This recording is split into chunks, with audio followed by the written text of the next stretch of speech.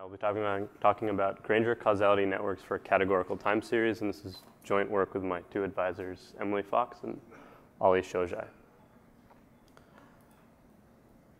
So to introduce this topic, uh, imagine that you're in a forest and that there are many birds, and each bird is chirping, and each bird chirps a different note. You observe different notes at each time point. So we have time point one, time point two, all through here. And we want to understand which birds are influencing other birds based on their song patterns. Does anyone have a guess what, uh, which bird's influencing which other bird? Well, you might guess that the red bird is influencing the blue bird since the, the sequence is shifted a bit. Um, it seems to be copying that one. So that's kind of a fabricated example, but um, other examples might be genetic regulatory networks where you are observing different genes and these genes can be different, can be on or off or some in-between state. Another one that um, we're currently considering is functional brain connectivity. So each region of the brain can be classified into a different state at a different time point. And then you can understand connectivity at this more abstract level. So I think uh, Rahul talked about getting connectivity where you're actually getting raw recordings, but this is a more abstract level where we're first going to classify the different regions and then look at network structure from there. So goals that we want to be able to do this are we want our model to be both flexible and simple. We want it to be computationally fast for inference, and we want it to be able to scale to many time series, such as a large number of birds. So let me first introduce some notation. We're going to have xjt. That's going to be the, um, the category that time series j has at time point t. And we're going to, for simplicity, assume that each time series takes on one of m states. And we're going to have p number of time series. So we're going to choose to model the state transition, so the, the probability of transitioning to a new state at time t given the past states at t minus 1 as a multivariate Markov chain. So all this says is that our, um, our transition probability is only dependent on the state behind us by one lag. And furthermore, we're going to make one more additional assumption that the transition distribution factorizes across, uh, across time series. So what this says is time, at time t, xjt is going to be conditionally independent of xit given the past states of the chain. This will help us uh, make inference much faster since we can only, since we'll be able to decouple inference across each time series. And finally, we're going to use this notion of Granger causality, which is a notion of how you can understand dependence between different time series. So we're going to say that x, uh, x1 is not Granger causal for xj if its conditional probability is basically not dependent on that time series. It's a pretty intuitive definition, but it's one that we'll exploit when we uh, develop models and inference for this problem. Okay, so if we wanted to model the entire conditional probability table, that would require storing about roughly m to the p plus 1 parameters. So this is a really large tensor. Um, you can think of it that way. So here I have one example where you have x1t on one axis, x2t minus 1, and x1 t minus 1. Um, but basically, as the, as the number of time series grows, this quickly becomes infeasible to use this uh, non-parametric representation to uh, model. So instead, we're going to consider model-based um, factorizations that will make this easier. But I do want to stress that there is future work that we're thinking about where we're going to try and maybe have some sort of latent structure on this tensor that we learn on the fly rather than assuming it, as I'll be talking about now. Right. So we're going to seek a factorization where the number of parameters does not grow too quickly. It's easy to specify Granger non-causality, and we have fast inference. Okay, so to do this, um, we're going to use what's called the mixture transition distribution model. And this was a model invented by Adrian Raftery in the 80s, actually. And it has been studied pretty consistently since then. And um, there's been a bunch of, uh, of inference algorithms and applications that it's been used for.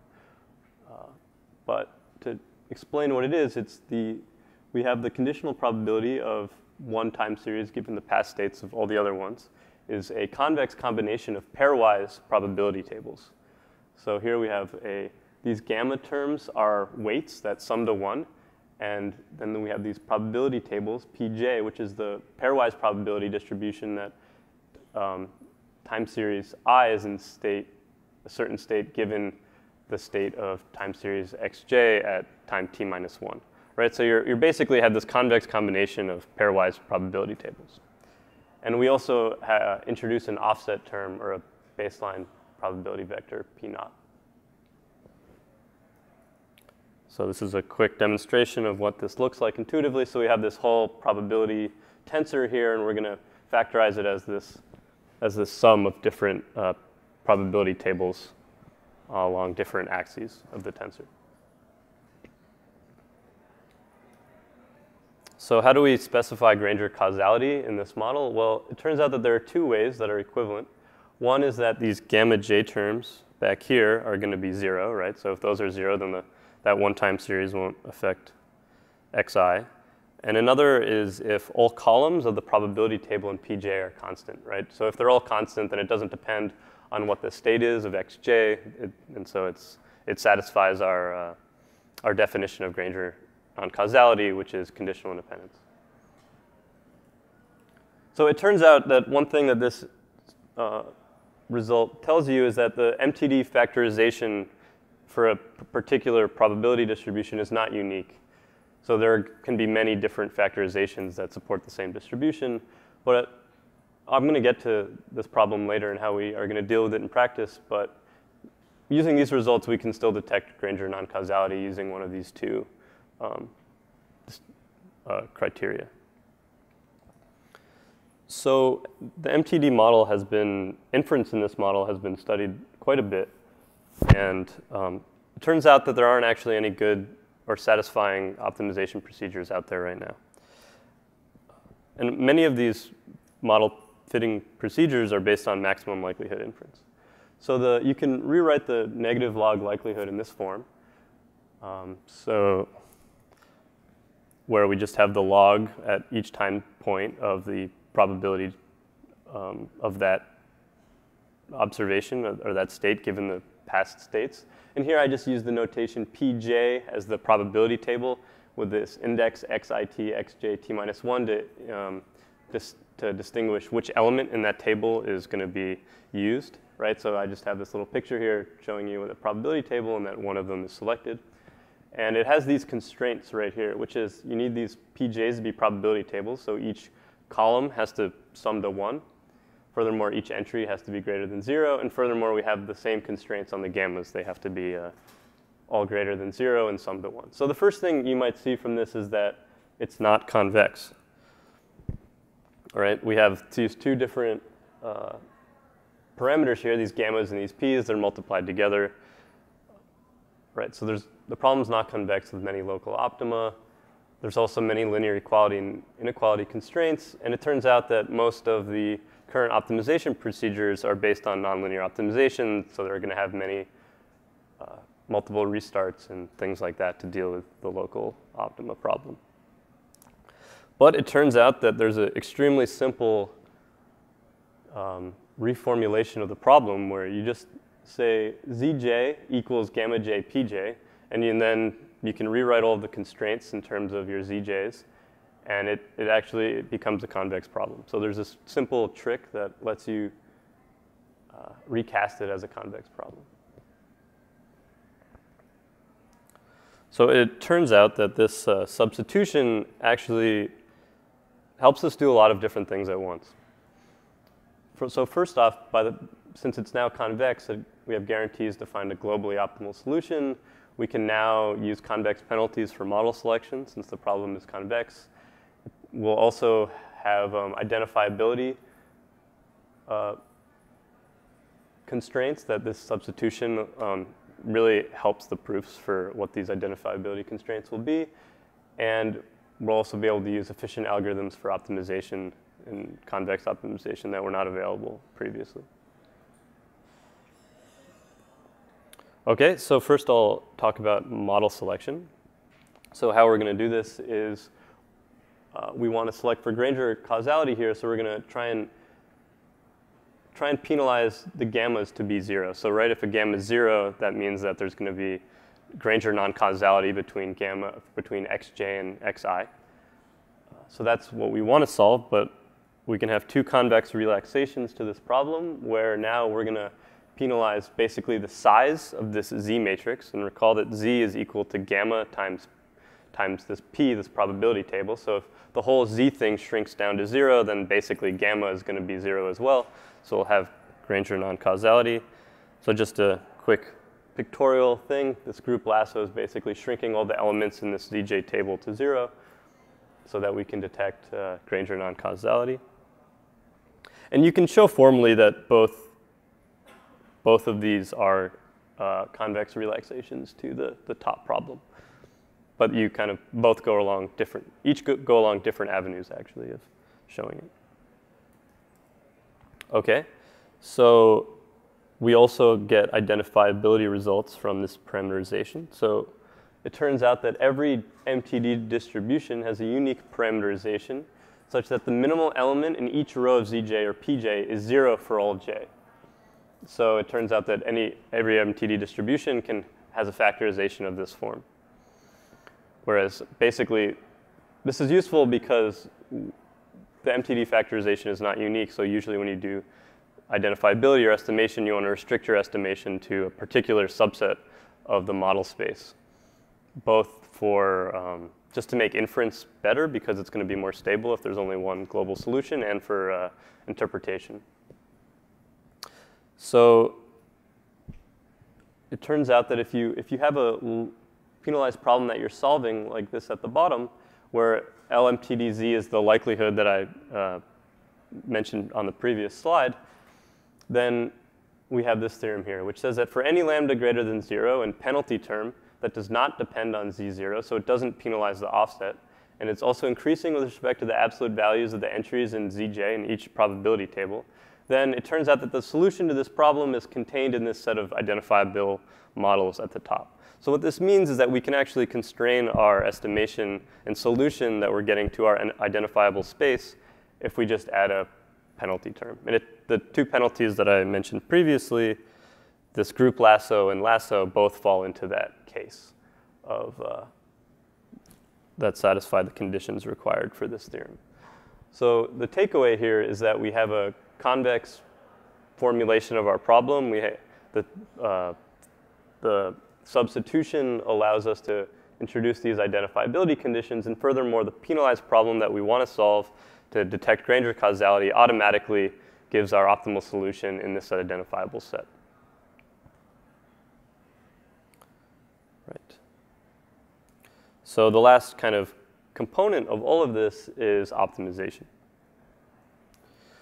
So I think this problem, type of problem, actually has some interesting new um, elements in optimization and issues. And that is basically that you have these non-smooth penalties, but you also have a lot of linear equality and inequality constraints.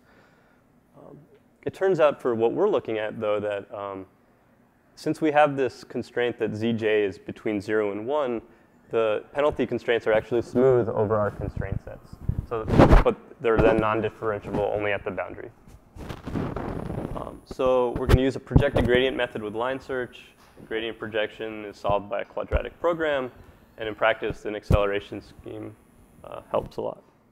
So right before I talk about some simulated data results, I'm just going to introduce a alternate model that you might suspect or might suggest.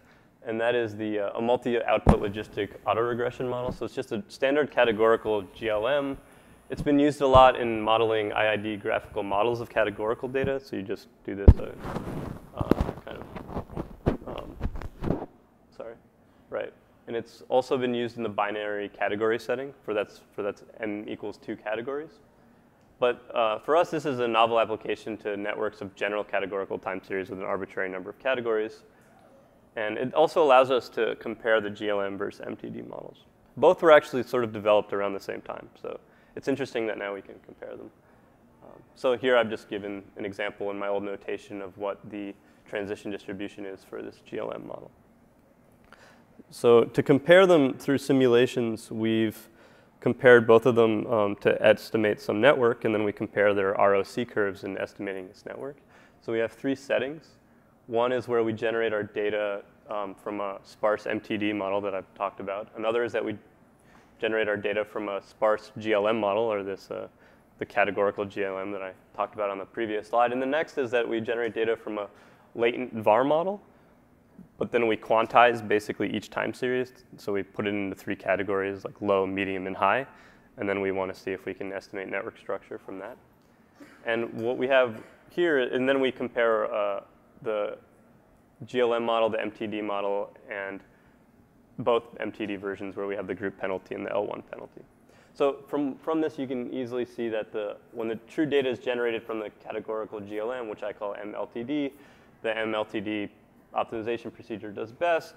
Um, and furthermore, for MTD, the MTD method does best at recovery on average. Um, and when we have latent VAR um, data, it actually turns out that our MTD group does significantly better than the other uh, methods. But this is uh, ongoing work, so these are some just preliminary uh, simula simulation results that I have. So in summary, we've defined Granger causality for categorical time series. We've utilized the MTD model. We've recast it as a convex problem, and we've added different penalties to select for Granger non-causality. In future work, that stuff I'm currently working on is some high dimensional estimation rates for the MTD model, and uh, also more scalable algorithms. Because because currently, um, the computational bottleneck here is in our projected gradient method where we have to project onto our constraint set and our constraints, the number of our constraints are going to grow as the number of time series grows. So, yep, that's all. Thank you very much.